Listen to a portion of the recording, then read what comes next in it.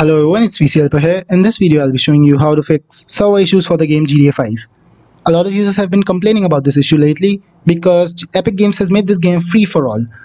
So if you're also facing this problem, then I've got three workarounds for you. But first of all, I would like to tell you that if the server is down because Rockstar's game server is down right now, in that case, you can do nothing but wait for the servers to get up but if there is something wrong with your PC's configuration files, then only these all workarounds, all these three workarounds will work. So please note, if the Rockstar game server are currently down, in that case, I can do nothing. But if the Rockstar servers are up and still you are experiencing server issues, in that case, all these things will work. So let's get to the first workaround without any further ado. So the first thing is clean booting your PC.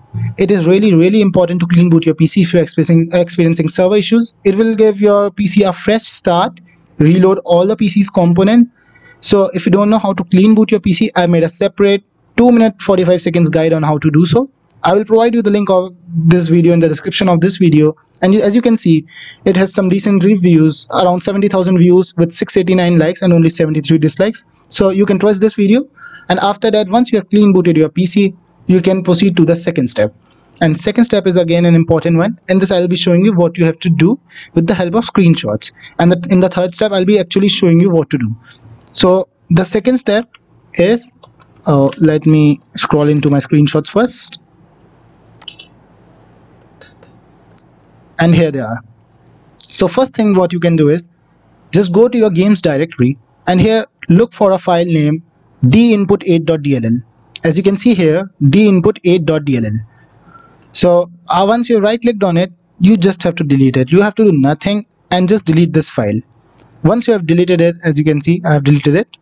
After that you have to just try running your game. Your rockstar social club will load and after that most probably your problem will be fixed. But if your problem is still not fixed then there's the last thing you can do and that works for most of the users you can forward your port. So if you don't know how to forward your port it's really easy. So here as you can see this is an article by support.rockstar games. Here they have mentioned that GTA Online requires the following ports to be open. And now you must be wondering how to open your ports. So it's really simple. You just have to search for advanced firewall settings as you can see Windows Defender firewall with advanced security once you open this, you will be redirected to this page. And here you have to select inbound rules. And in inbound rules, click on new rule. And here, click on port and click next. Here we have two options, TCP and UDP. So here they have mentioned all the ports are UDP. So what you have to do is, you have to click on UDP and as you can see, you can specify different ports in the same line. So just click select 6672 copy this paste it here.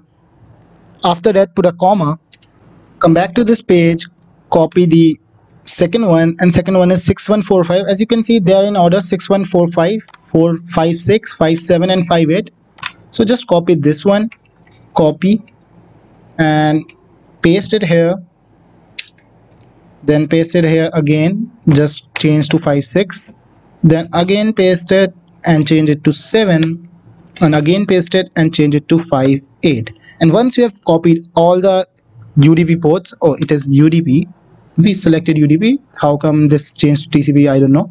But once you have selected UDP make sure it's on UDP click on next. And here click on allow the connection. And again click on next. And here again click on next and give it a name and we'll give it the name GTA 5 and finish it and once you have performed this step restart your PC and try running your game again and most probably your server issues will be resolved. So all you have to do is follow three steps. The first one is clean booting your PC necessary. Second one again this works for most of the users. You just have to delete dinput8.dll and the third one is port forwarding. So once you have done all these steps and you have performed all of them one by one and try running the game then most probably your problem will be solved. But if you are still experiencing this problem then all you can do is wait for the GTA servers to get up. So thank you for watching this video. If you found this video helpful please hit the like button below. And also don't forget to subscribe for more. Thank you and have a nice day